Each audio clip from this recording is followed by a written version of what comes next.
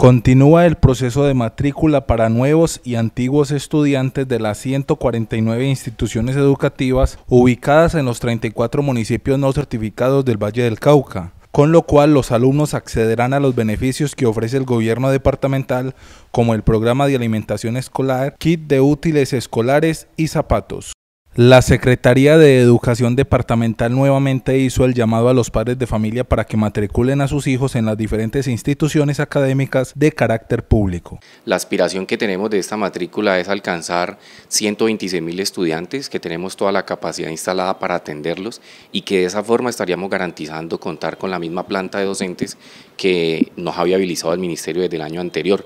Es muy importante que los padres de familia se acerquen a las instituciones a materializar la matrícula de sus estudiantes, niños y jóvenes del departamento que tenemos hoy las condiciones para atenderlos y que además pueden hacer usufructo de todos los programas que la señora gobernadora viene desarrollando en términos de acceso y permanencia, tal como la entrega de kits escolares, zapatos escolares que el próximo año también vamos a entregar en el mes de enero y por supuesto la implementación del programa de alimentación escolar que cubre pues eh, un alto número de estudiantes dentro del departamento y que de esta forma facilitamos que los estudiantes estén en el sistema escolar.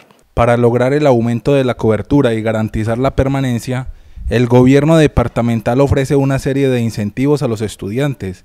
La meta es matricular 126 mil jóvenes. Los requisitos son mínimos. Necesitamos que los padres se acerquen a las instituciones. Los requisitos realmente son muy mínimos. Es tener registro civil del estudiante, un documento del padre, la entidad de salud que atiende a este niño o joven y las vacunas que se le hayan aplicado al niño que certifiquen pues la aplicación de estas. Y de esta forma podemos matricular nuestros niños y jóvenes. Igualmente si alguno tiene dificultades con algún documento se puede acercar a la institución y garantizar pues que en el transcurso del tiempo se vaya a legalizar esa matrícula.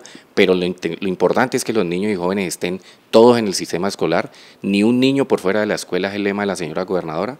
Y de esa forma extendemos la invitación a todos los padres de familia del departamento para que se acerquen a las instituciones la población de venezolanos que hay en el departamento también tendrá acceso al sistema educativo, de acuerdo con las directrices impartidas por el Ministerio de Educación Nacional. Bueno, los venezolanos nosotros tenemos una directriz ministerial en la cual la idea es atender a los niños o jóvenes que estén interesados en hacer parte del sistema escolar.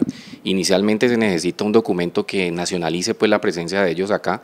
Sin embargo, si no lo tienen, la idea es matricularlos. El CIMA nos permite una excepción y matricularlos y en el tiempo también legalizar su nacionalidad acá en el, en el país y de esa forma poder hacer también uso de los servicios educativos en el departamento. Las jornadas de matrícula iniciaron el pasado 3 de diciembre y se extenderán hasta finales del mes de enero.